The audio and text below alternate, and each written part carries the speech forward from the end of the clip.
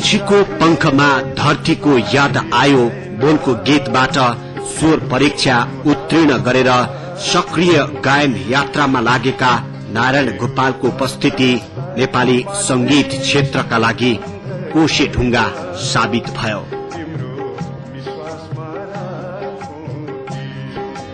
भर्खरै जग बसाउँदै गरेको नेपाली सुगम संगीतका लागि उनले यस्ता गीत गाए जसले आजसम्म पनि नेपाली संगीत क्षेत्रको नेतृत्व गरिरहेको छ।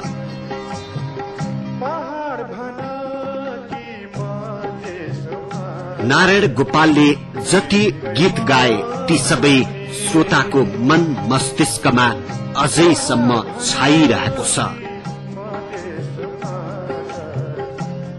लोक झ्याउरे तथा शास्त्रीय शैलीका गीतबाट अघि बढ़िरहेको नेपाली संगीतलाई फरक धारमा स्थापित गर्नमा उनको विशेष योगदान रह्यो। उनकै सृजना अनि अथक प्रयासका कारण नेपाली सांगीतिक क्षेत्रले अहिलेको विकसित रूप लिन सकेको हो। उनका स्वर अनि सृजना नेपाली गीत संगीतका लागि आधार स्तम्भ मात्रै बनेका छैनन्। सबैका लागि प्रेरणाको स्रोत पनि बनिरहेका छन्। केवल गायन र सृजनामा मात्र आफूलाई होमेनन् नारायण गोपालले समसामयिक राष्ट्रिय तथा अन्तर्राष्ट्रिय राजनीतिका साथै इतिहास र साहित्यको अध्ययनमा पनि उत्तिकै चासो थियो। उनको बेजोड तार्किक शक्तिका धनी थिए। नारायण गोपाल।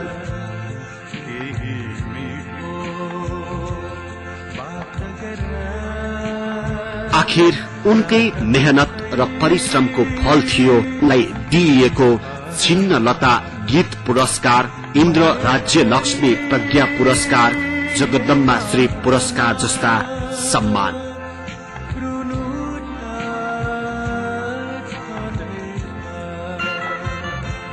संगीतको क्षेत्रबाट जगदम्बा श्री पुरस्कार पाउने उनी हालसम्मकै एक्ला हुन्।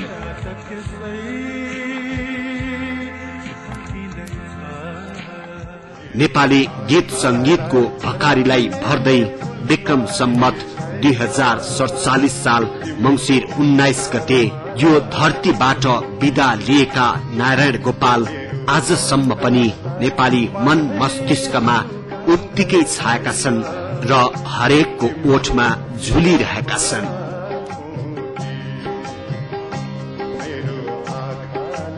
उनका गीतहरू अझै पनि नेपाली श्रोताको पहिलो रोजाइमा परिरहनु र ती गीतले नेपाली संगीतको प्रतिनिधित्व गरिरहनुले पनि प्रष्ट हुन्छ।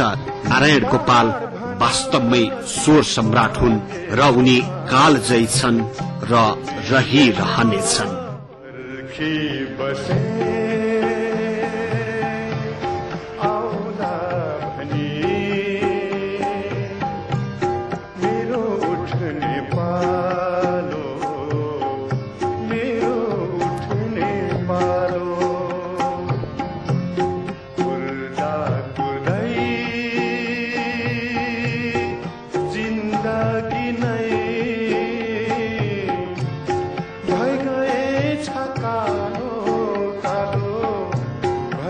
这一场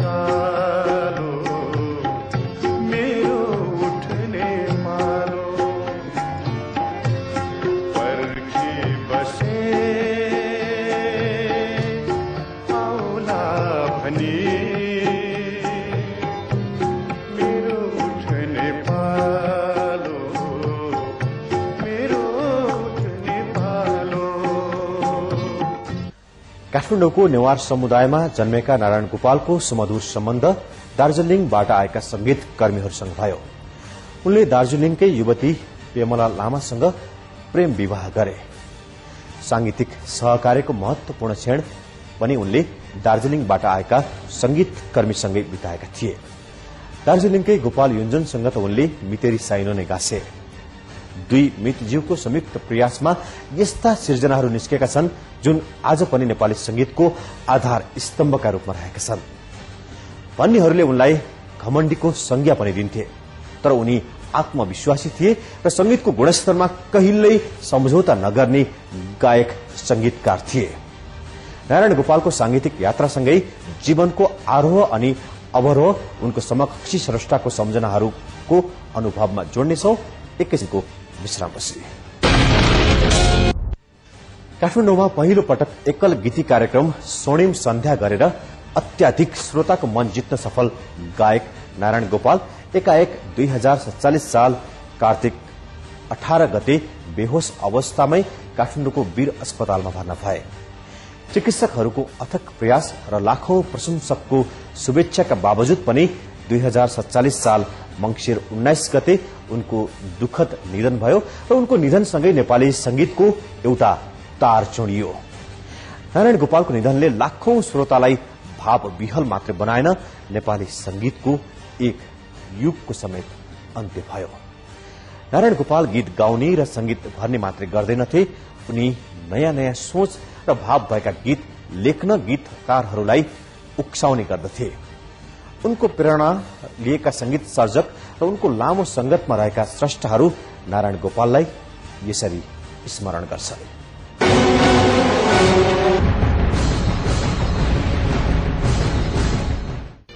यो एउटा विचित्र प्रकारको हुँदो रहेछ। आफूले चाहेको आफूले मन पराएको मान्छेसँग चाहिँ छुट्टिनु पर्दाको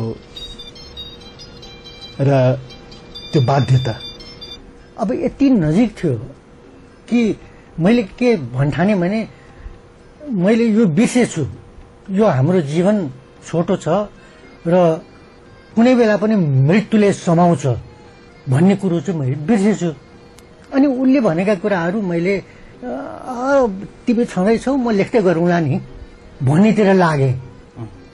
जब उहाँ एकदम आइसियुमा जानुभयो त्यस बेलामा बेला मात्रै मलाई स्ट्राइक भयो। ओहो। उसले त्यतिचोटि मलाई भन्न पनि मैले गीत लेखिनँ। कठोर निर्दयी र एउटा कटु सत्य मृत्यु जसले स्वर सम्राट नारायण गोपाललाई टपक्क चिपेर लग्यो हामी माझबाट एउटा मान्छेको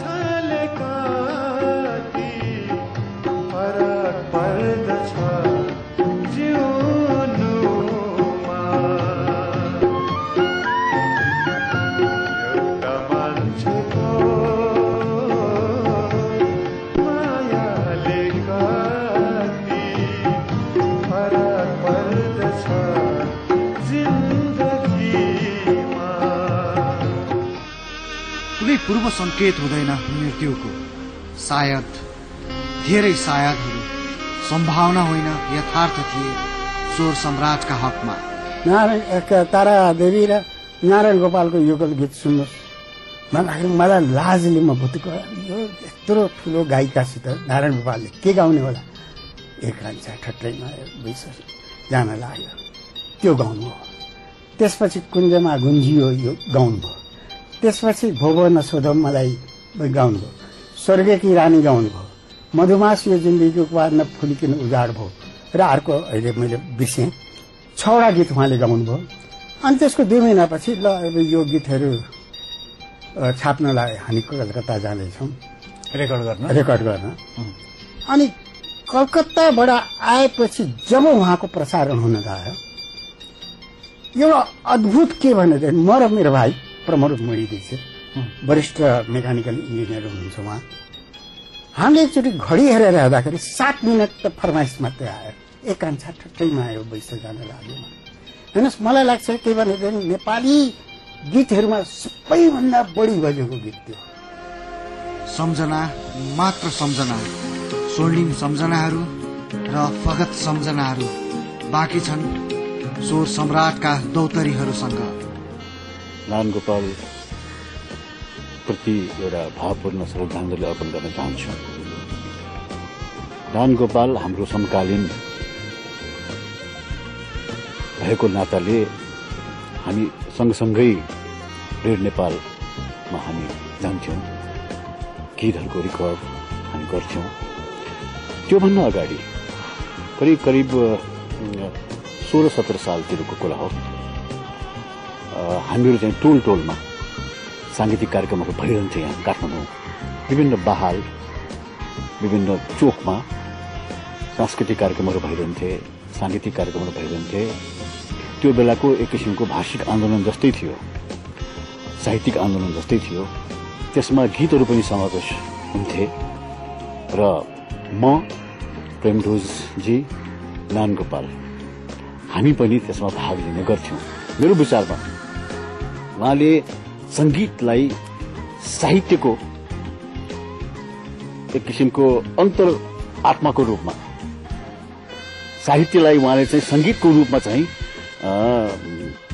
विकसित गर्ने अथवा सङ्गीतलाई साहित्यको साहित्यिकताको रूपमा चाहिँ अगाडि बढाउने तिरोको उहाँको उन्मुखता चाहिँ बढ्दै गयो। त्यो उन्मुखताले गर्दाखेरि साङ्गीतिक क्षेत्रमा गो- गोपालको विशिष्ट स्थान चाहिँ रहन गयो नारायण गोपालजीलाई खास धेरै सानो उमेरदेखि चिन्छु र त्यो बेलाको सम्झना बढी याद आउँछ मलाई।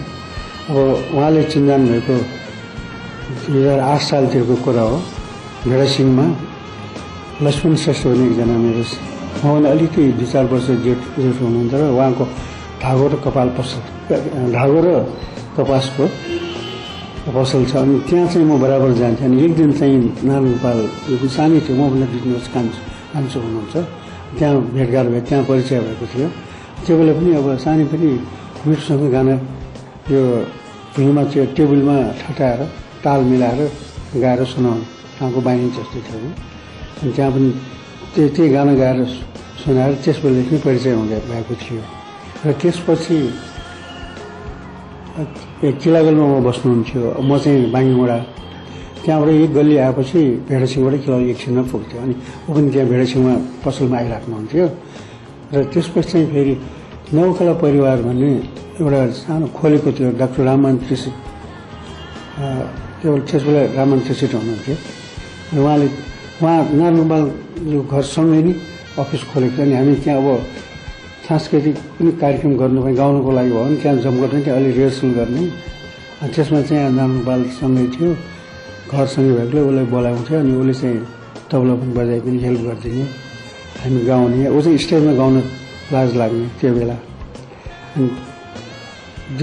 यो हरेक टोल टोलमा चाहिँ महिनाको एकचोटि अब त्यो बेला इन्टरटेनको केही साधन नभएको हुनाले हामी त्यहाँ टोलले अर्गनाइज गर्थ्यौँ हामी आधुनिक गीतहरू दस बाह्रवटा हामी कलाकारहरू आयो। जस्तै तारदेवी हुनुहुन्थ्यो शिवशङ्कर दाजु हुनुहुन्थ्यो रवि सुब्बाजी पनि सानै हुनुहुन्थ्यो उहाँ पनि थियो।